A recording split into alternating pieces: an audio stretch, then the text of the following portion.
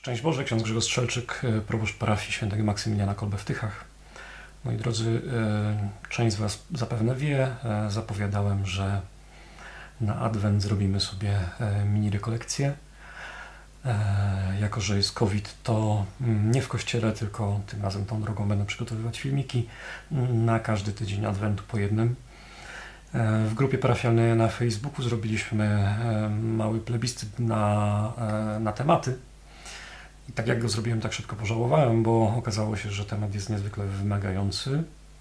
Mm, brzmi on mniej więcej tak, e, jak e, zrozumieć świat i nie stracić wiary w Boga.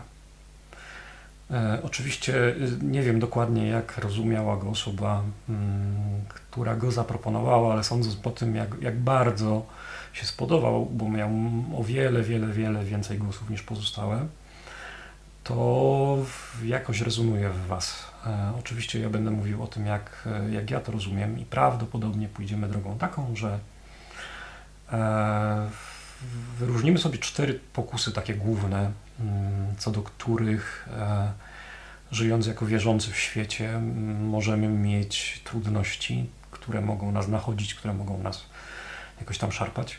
Mm, pokusy dotyczące y, głównie wiary, ale też sposobu rozumienia e, świata w świetle Ewangelii.